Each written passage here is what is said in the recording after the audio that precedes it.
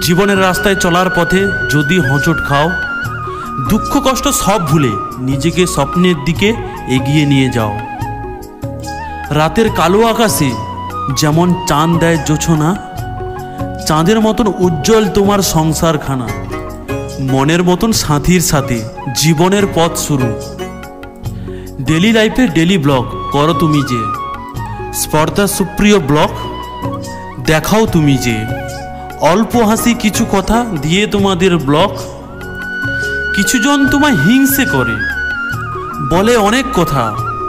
যারা তোমার সাফল্য দেখে হিংসে করে, দেবে না ওদের পাত্তা। দেখবে, জ্বলবে, লুচির মতন ফুলবে।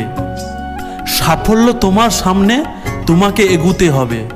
ওদের কথা পড়ুয়া না করে এগিয়ে যাও সাফল্যের দিকে। তোমার কাহিনী ইতিহাসে নয় সবার মনে লেখা থাকবে। কিছু ভালোবাসা, কিছু স্বপ্ন, ভরা তোমাদের জীবন। জীবনটা তো বন্ধু দুই দিনের। এই পৃথিবীতে চিরস্থায়ী, থাকবে না কোনো জন ভালো থেকো স্পর্ধা অ্যান্ড সুপ্রিয়।